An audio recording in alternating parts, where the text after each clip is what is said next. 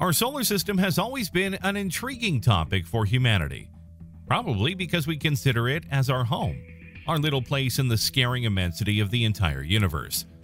Just think about the names given to these eight bodies that together with us periodically revolve around our bright star. Except for the Earth, they all come from Roman gods, arousing ancient myths and adventurous stories. This is probably why during the 18th century, the existence of a strange series of numbers which seemed to predict the position of our neighboring planets totally shocked the scientific community, giving birth to hundreds of different research work. And it doesn't end here. These numbers, also known as the Titius-Bode law, suggested the presence of a missing planet near us, a bit far away from Mars. But wait a moment, what are we talking about? What is this numerical sequence? And why is it linked with a possible new planet in our solar system? Is this all true, or is it just a science fiction hoax? Stick with me and I'll tell you everything in a moment.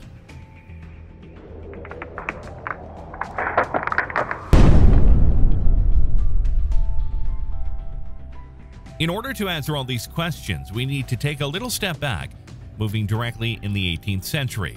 At that time, scientists had only discovered five planets, different from our Earth, in the solar system Mercury, Venus, Mars, Jupiter, and Saturn.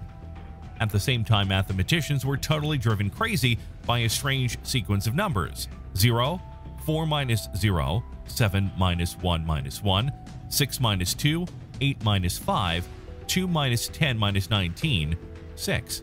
Apparently, it seems that there isn't a logical correlation between these numbers. However, we can make some little changes to discover something very, very interesting. Try to multiply the previous sequence for 10. We have 4, 7, 10, 16, 28, 52, 100, 196. Now let's subtract 4. We obtain 0, 3, 6, 12, 24, 48, 96, and 192. Something can surely be said about this new sequence. Have you noticed it? Except for the first two numbers, which seem to be randomly chosen, all the other numbers are just twice the previous one. This tricky sequence was studied by Johann Bode in 1772. Therefore, he wasn't the first one to deal with it. As a matter of fact, the same sequence was introduced by Johann Titius in 1776. Consequently, these numbers are always mentioned as the Titius-Bode law. Even if it takes the name after these two scientists, the sequence was firstly discovered at the beginning of the century by the Scottish mathematician David Gregory and re-elaborated around the 20s by the Polish philosopher Christian Wolff. Wait a moment. We have understood how the Titius-Bode law originated, but what does it state? What is it about? How is it linked to the possibility of a missing planet? Let's try to understand it step by step. Firstly, we must examine the original reasoning of the scientists. Here are three different pieces that introduce the connection of the sequence with planetary research. The first is taken by David Gregory's The Element of Astronomy from 1915. Supposing the distance of the Earth from the Sun to be divided into 10 equal parts, of these the distance of Mercury will be about 4, of Venus 7, of Mars 15, of Jupiter 52, and that of Saturn 95. The second one comes from Johann Titius. Take note of the distances of the planets from one another and recognize that almost all are separated from one another in a proportion which matches their bodily magnitudes. Divide the distance from the Sun to Saturn into 100 parts, then Mercury is separated by 4 such parts from the Sun. Venus by 4 plus 3 equals 7 such parts. The Earth by 4 plus 6 equals 10. Mars by 4 plus 2 equals 16. But notice that from Mars to Jupiter, there comes a deviation from this so exact progression. From Mars, there follows a space of 4 plus 24 equals 28 such parts. But so far no planet was sighted there.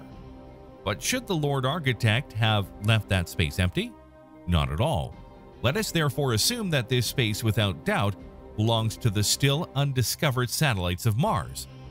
Let us also add that perhaps Jupiter still has around itself some smaller ones which have not been sighted yet by any telescope.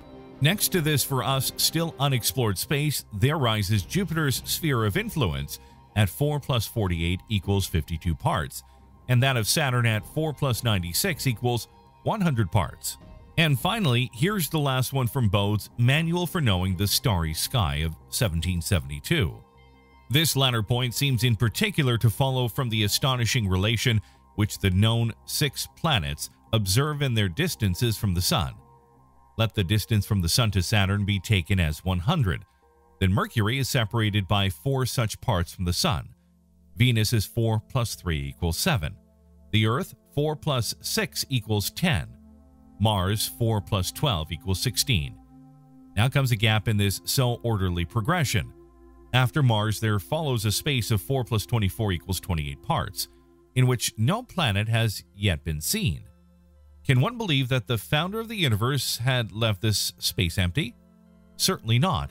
From here we come to the distance of Jupiter by 4 plus 48 equals 52 parts, and finally to that of Saturn by 4 plus 96 equals 100 parts. We can easily understand that the sequence was like a representation of the astronomical distances between the Sun and the planets of our solar system. Therefore, something doesn't seem to be right, since the distances of the six known objects from our star, measured in kilometers, were very different from the first sequence I mentioned. How can we show the relation between this mysterious law and our planets?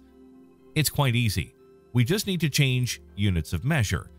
In astronomy, it's very common to talk about distances relatively to the astronomical unit, AU or UA, the distance between Sun and Earth, which is nearly 150 million kilometers or 8 minutes at the speed of light. If we show the distance of planets from the Sun expressed in AU, we can surprisingly find an almost perfect correlation with the Titius-Bode law. All measures are obviously approximated.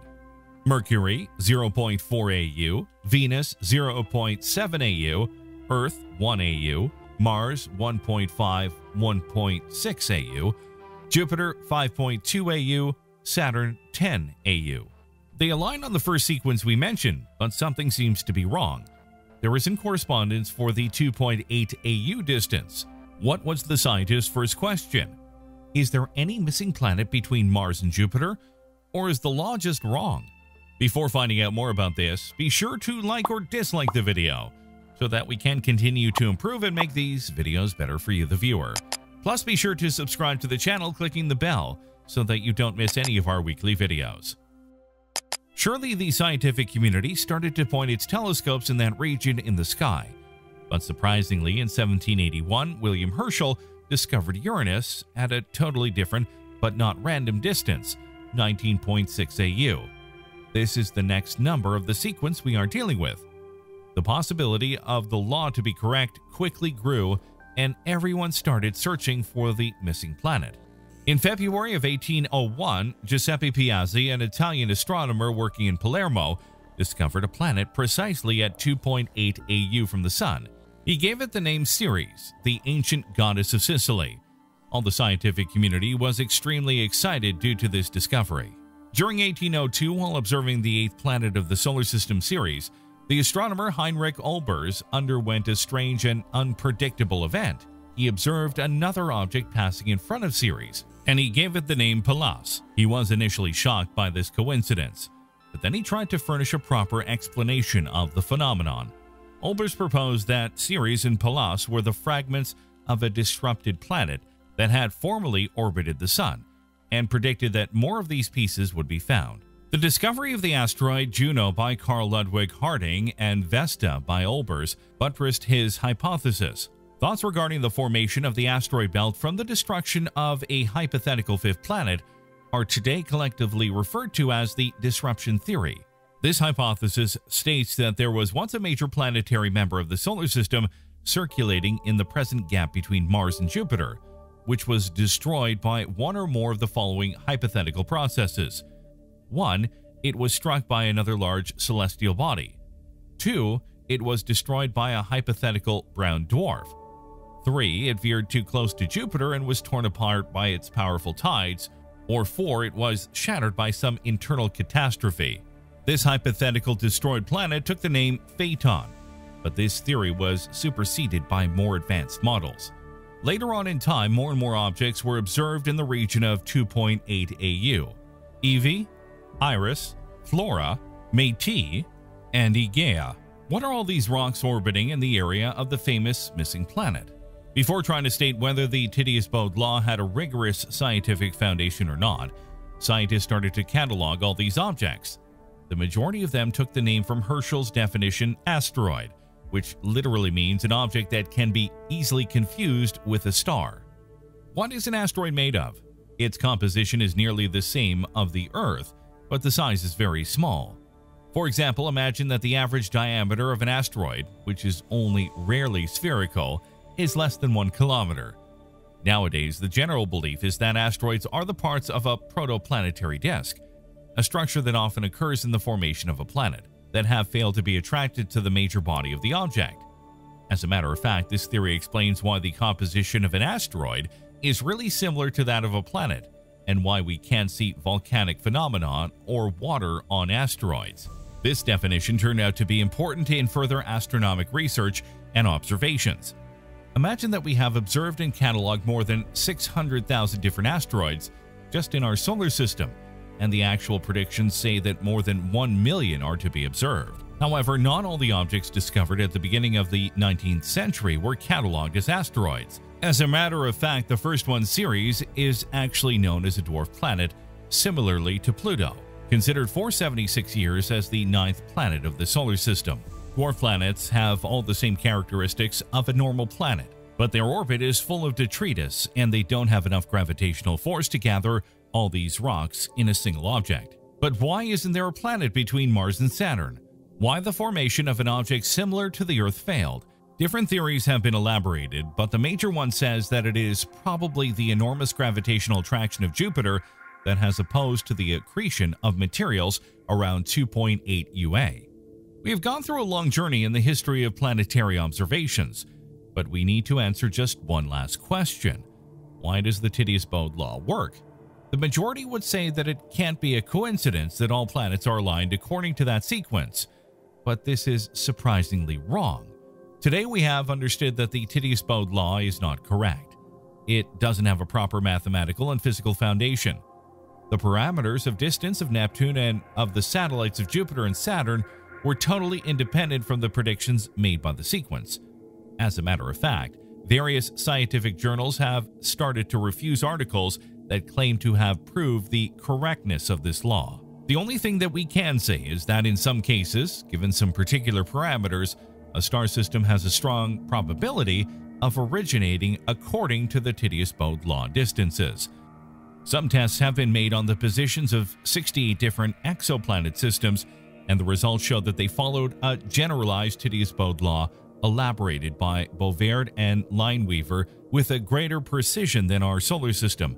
Although this theory is not so rigorous, sometimes it has been useful to predict the positions of some exoplanets. That's all for this video. Thanks for watching everyone. Did you find this topic exciting? Are you amazed by the search for a missing planet in our solar system, which took place around the first years of the 19th century? Are you excited by the different theories about the origin of asteroids? Have you ever heard of Phaeton before? Is there anything more you want to hear about the Titius-Bode law? Let me know in the comments below. Be sure to subscribe, and I'll see you next time on the channel.